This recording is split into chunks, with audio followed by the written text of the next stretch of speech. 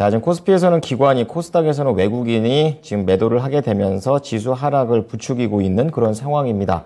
자, 이런 상황에서도 올라가고 있는 종목들 분명히 있습니다. 어떤 부분으로 좀 우리가 또 수익을 낼 수 있을지 좀 더 알아보겠습니다. 김영일 전문가입니다. 전문가님, 안녕하십니까? 네, 반갑습니다. 김영일 전문가입니다. 네. 그 어제 말씀하셨던 유신, 그러니까 폭발성, 그러니까 폭발력이 있는 종목이다라고 또 언급을 좀 했었던 것 같은데요. 우선 유신이 목표 주가에 도달을 하루 만에 했습니다. 지금 수익률이 18% 거의 뭐 19% 가깝게 나고 있는 상황인데요. 자, 유신과 관련해서 이거 더 가져가도 되는 건지 아니면 지금쯤 익절해야 되는 건지 궁금합니다. 어떻게 할까요? 네, 일단 유신 같은 경우에 사우디 네옴시티 관련해서 모멘텀을 보유한 종목이다라고 말씀을 드렸었죠. 지금 현재 11월에 빈살만 왕세자가 방한을 할 것이다. 기대감이 계속적으로 좀 지속이 되고 있는 상태이기 때문에 네옴시티 관련주들의 흐름이 상당히 양호하고 유신 같은 경우에는 사우디 네옴시티 터널 프로젝트에 참여를 하고 있기 때문에 관련돼서 움직임을 보여주고 있는 종목이다 말씀을 드렸었습니다. 그러면서 이제 어제 수급이 좀 상당히 훌륭했었고 매물대에 좀 도달을 한 구간이라서 이제 어느 정도 살짝 눌렸다가 올라가는 그런 이제 흐름들을 예상을 했었습니다. 그런데 이제 네옴시티 관련된 이슈가 워낙에 강하고 유신에 들어가는 수급이 워낙에 강하다 보니까 어제 바로 이 매물 구간을 돌파를 해주면서 상한가에 안착을 하는 그런 모습을 보여줬죠. 그러면서 이제 오늘까지 추가 상승이 나오고 있는데 일단 이 사우디 네옴시티 관련된 종목들은 계속적으로 좀 지켜봐야 된다라고 보고 있습니다. 아직까지도 뭐 수급이 계속적으로 좀 양호하게 들어가 주고 있고 그러면서 시장에서 굉장히 강한 모습을 보여주고 있기 때문에 그리고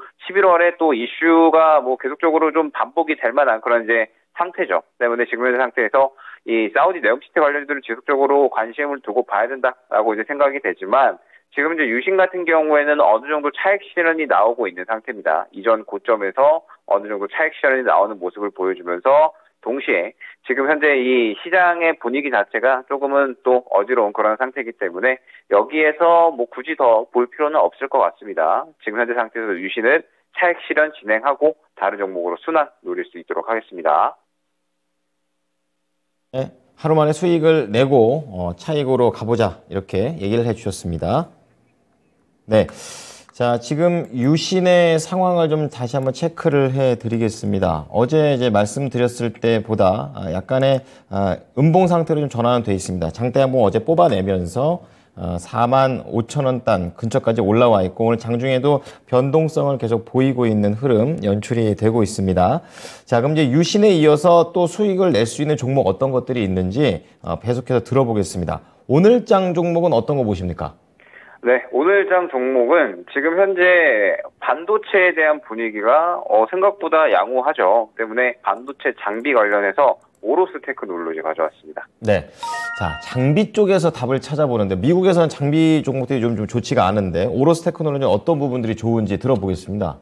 네, 오로스 테크놀로지 같은 경우에 반도체 웨이퍼 MI 장비를 제조하는 그런 이제 사업을 영위를 합니다. 그러면서 이 국내 최초로 overlay 계측 장비를 국산화한 그런 이제 기업이다라고 봐주시면 좋을 것 같은데 지금 현재 전체적으로 이 반도체 기업들 상당히 좀 업황이 좋지 않음에도 불구하고 계속적으로 좀 외국인 매수가 들어가는 그런 모습들을 보여주고 있죠. 그러면서 지금 현재 주가는 전체적으로 저평가되어 있는 상황이다라고 이제 어느 정도 시장에서 받아들여주고 있는 어, 그런 상태다라고 생각을 해주시면 될 것 같습니다. 때문에 지금 현재 반도체 기업들에 대해서 어느 정도 이슈가 있거나 혹은 이제 실적이 올라올 수 있는 종목들은 상당히 또 눈여겨봐야 되는 타이밍이 아닌가라고 생각이 되는데 지금 현재 이 삼성전자에서 이제 장비나 소재를 국산화하는 데 있어서 계속적으로 또 적극적으로 어, 좀 변화를 이끌어 나가고 있는 그런 상태다라고 이제 봐주시면 좋을 것 같고 오르스 테크놀로지는 이 오버레이 개측 장비를 국산화한 그런 이제 기업이기 때문에 이 부분에 대해서 상당히 또 수혜를 볼 수 있을 것이다 기대가 되는 상황입니다.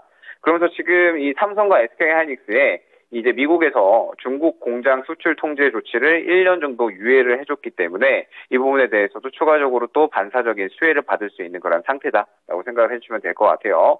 어, 이제 이러한 이슈들을 힘입어서 지금 이제 최근까지 계속적으로 이제 어, 좀 조정이 많이 나왔었던 그런 기업입니다. 적자가 조금 이제 이어지면서 계속적으로 좀 조정이 나왔었지만 지금 현재 상장 이후에 다시 한번 저점에서 굉장히 좀 강한 거래량이 들어오면서 올라갈 수 있을 만한 힘을 어느 정도는 좀 받쳐줬다라고 볼 수가 있겠죠. 지금 현재 이 반도체 국산화, 반도체 장비 국산화에 대한 그런 이제 수혜에 힘입어서 충분히 추가적인 탄력은 단기적으로 가능하지 않을까 판단이 됩니다. 때문에 매수가는 현재가 이하에서 접근을 할 수 있도록 하고요. 그다음에 목표가는 이종 고점 부근이죠. 15,000원 설정을 하고요. 그다음에 손절가는 9,500원 수준으로 안내를 드릴 수 있도록 하겠습니다. 네. 자, 오로스 테크놀로지가 작년에 고점을 찍고 계속해서 어, 내려오고 있는 그런 상황입니다. 이제는 올라갈 수 있는 어, 구간이 들어왔다. 이런 관점에서 말씀을 해드렸고요. 자, 오늘 어, 내용을 잘 참고해서 수익을 연결해 보겠습니다. 감사합니다. 네, 감사합니다. 예.